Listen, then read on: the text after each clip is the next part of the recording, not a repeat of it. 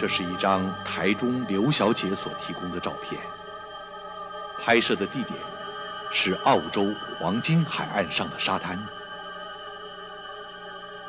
沙滩上的脚印，竟然是突出于地面之上，而不是陷在沙滩之下。若从科学之观点来看，这根本违反了地心引力的物理原理。这到底是灵异世界在作怪，还是世界上真有另外一个空间呢？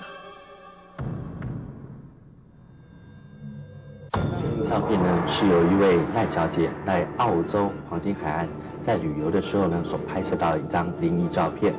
那事实上从这张灵异照片上来看呢，这个里面呢有两组的脚印，也就是说一组呢往右走，一组往左走。但是呢，这两组脚印呢，跟一般我们所看到的脚印是不同的。我们一般的脚印呢，呈现我们因为用力踩，那么地面呈现是属于凹陷的状态。但是呢，从这张灵异照照片上面来看呢，这个脚印呢，却形成的是所谓凸起来、浮出来所谓立体的状态。那我们知道，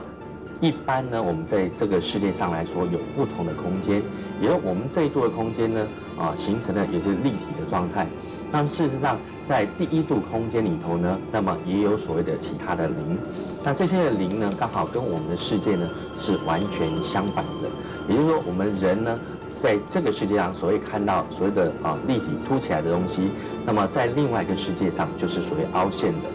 那我们在这个世界上所谓的凹陷的东西呢，那么在另外一个世界上呢，那么也就形成所谓凸起的状态。因此呢，从这张灵异照片上来说呢，我们可以感感受得到，也就在另外一度的空间，那么有所谓的其他的灵那么存在。但是这个灵呢，为什么会有所谓的黑色的脚印，那么变成白色的脚印？也就是说，在就像我们一般的这个人，那么要修道，那么超脱的这个过程中，由黑色慢慢慢慢的过去超过去之后，那么洗成所谓的白色。因此呢。这张灵异照片呢，事实上就是在另外一度空间里头，那么所谓的灵，那么在所谓的修炼超脱的一个过程，有所谓的黑色，那么形成所谓的白色。那事实上，呃，对于拍摄者本身来说呢，并不会有任何的影响，只是呢，刚好您的机缘巧合，那么在这个地方刚好拍摄到另外一度空间，那么所给你的一个这个啊，这个一个很好的机缘，那。这一张照片呢，就是我们一般所谓另外一度空间的这灵异照片。在讨论这张灵异照片之前呢，我想先谈另外一张，哦，可能也是灵异照片。啊，这张照片呢是在民国二十八年，由美国著名的黑白摄影家呢叫做安瑟亚当斯呢，他拍到的黑色的太阳。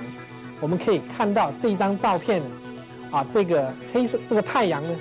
啊，已经变成了黑色，但是这不是灵异照片，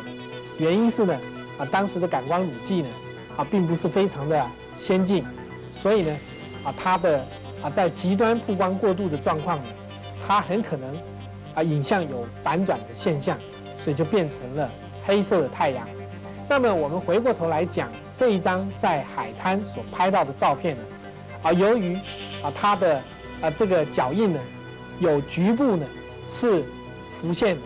有局部变成黑影，但是我们可以知道，在沙滩上啊凸起来的这个石头呢，啊它的光影的方向呢，应该是从啊左左下方呢射来，所以当时的光线应该是非常的啊这个角度非常的低，所以应该是在黄昏或是啊早晨所拍到的。那么啊我们知道呢，啊在这张照片的中心呢。啊，也就是画面的啊这个左半边呢，啊它的受光量有明显的比较亮，所以我们发现呢，很可能在中心的部分啊它的光源呢啊是受光量比较多的，所以我个人怀疑呢啊有两种可能，一个呢是他用了一盏闪光灯，所以他把深色的阴影呢把它照亮，另外一种可能呢啊当然我们知道，如果把这张照片。啊，经过电脑的扫描器扫描以后呢，我们再用 Photoshop 的软体呢，可以让它局部的反转，就可以形成这样的影像。但是排除这两种状况呢，我认为也是一张不可思议的照片。好，我们要来听那个孙大哥讲鬼故事了。我想港都夜谭在当初我在录的时候哈，是没有什么感觉到有什么奇奇怪怪的事情了。等到配音配好了之后，发现因为我我们常常第一个开始的时候是，我一定要录一些港都夜谈这样的类似放低声音哎，放低声音。但是呢，等到等到播出来的时候，发现里面这个港都夜谈这四个字的时候，后面就有奇奇怪怪的那种小孩子的笑声，还有配音，有我们有配乐，但是那个音音乐里面没有小孩，没有那个声音没有那个声音。对哦，那我们就觉得很奇怪。后来大概几次之后呢，就见怪不怪了。他有这个声音，就让它存在吧，哈。那反而有一个特殊的效果。是那我到现在为止，我也不了解是什么原因，到底是我也问过我们的音效的那个当工程师，时连续配了好几次都这样，都这样，对，对。那后来也就不管他了啊，因为我虽然主持这种节目，因为我也不是完全相信，所以就大家就这样马马虎虎就过去了哈。啊，譬如说我个人，啊，我到那个时候我记得我是在某一家食品公司啊当总经理的时候，我带了我们的经销商跟我们同事到泰国去。那当天我们到了之后呢，我们先到那个湖水那个尼姑啊，哦啊湖水尼看那个湖水尼姑湖水尼姑，哎对湖水尼姑。那看了之后呢，我就发现有一点很奇怪的状况是怎么样？那个湖水尼姑呢，我们进去的时候呢，我们有一个同事就是说啊，这个一定骗人的。他说，他说这是因为那个咸咸的关咸海那种会浮起来，所以他就用手指去沾一沾。哎，他说哦结果一看说是淡淡的，他是没有没有这样的一个那您。带来这照这个片就是其实它这水不是咸的，不是咸淡水。我我去过，我知道他是以为是那个死海。哎死海我去过，死海我下去哦还可以浮起来。我觉得还灵异的是在哪里？是就是当时他这样沾一沾，当时没有什么事情啊，结果第二天他整个嘴巴肿起来，舌头有点溃烂。就说他不相信那个，不相信对嘴巴溃烂的。对，但是这个还好，我们另外的同事呢，当场就说啊，这骗人的。哦，结果他到船上的时候，我们后来参观完毕，就到船上去午餐。我们每个人走了个跳板的时候，跳板会晃了哈，啊但是他走了走了都很安全，虽然有点有点晃，嗯他走的时候跳板就啪就滑下来，你知道，就掉到水里面去。哎呦。啊哦，那幸亏还没有离，船还没有开，离岸马上把他救起来，啊，他就整个就发抖，啊，那我们当时也不敢讲。到了晚上，我们住进这个旅馆，住进旅馆之后呢，我们大家就跟经销商啦，大家就聊聊天，一聊天聊到差不多差不多十二点钟左右的时候，我就想，哎呀，明天我们还要行程，我要快点回去，啊，要整理一下睡觉。我就走过一个长长的廊巷，因为它是蜘蛛网型的，所以我那个房间是最外面。嗯啊，那个当时的电力不太足，所以呢感觉上很暗，整个整个感觉都非常暗。那我我在想啊，这个大概电力不足，我们就我就我就快点回去睡觉。我就走走走走，突然之间发现前面有一个穿着古装的泰国泰国式的服装的一个少女走过来，啊，在月光下，因为灯光不亮，所以月光下看得隐隐约约。大概到一公尺的时候，我看清楚了，哦，原来是一个穿着古装的泰式的女孩子走过，那我也没想到，啊，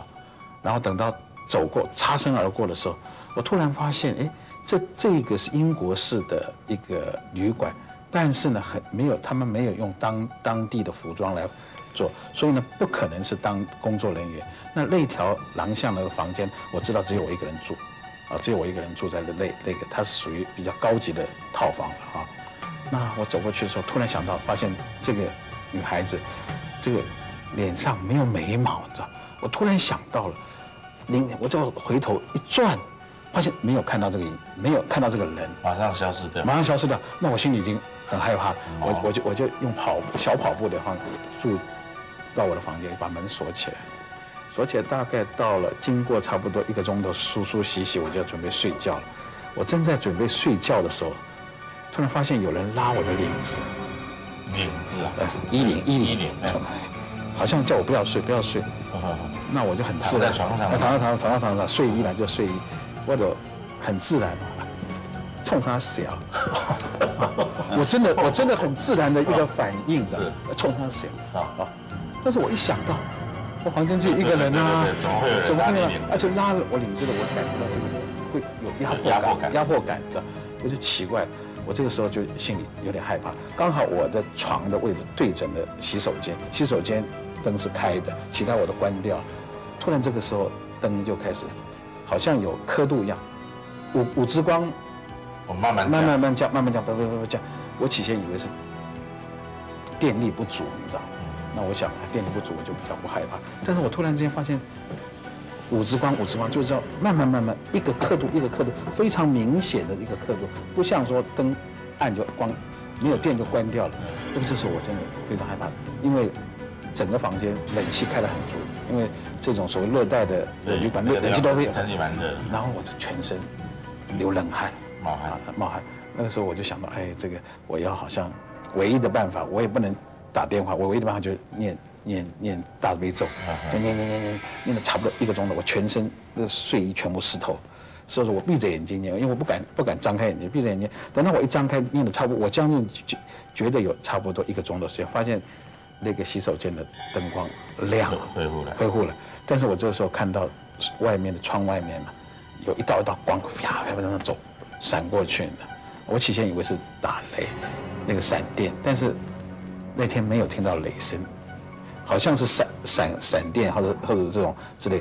我我就把它窗门一推开，我就发现那个树树上面，会一下子往东，一下子往西，这样子晃来晃去，晃来晃去，像波浪形的，哦。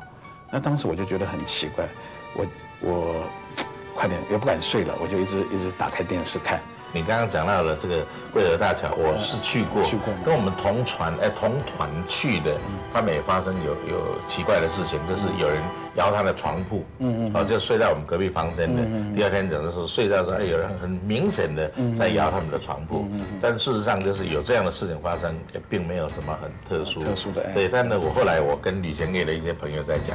他们都常常碰到类似的情况。我们我们新闻在采访出去拍拍摄的时候啊，有时候去拍那种空难啊或那种凶杀案件啊，有时候镜头就拍了太多那种太过于接近这个尸体，或者说比较不完整的尸块啊那种东西的话，啊，有时候回来因为急着发新闻，这个有时候机器袋子啊，有时候会有些画面出不来，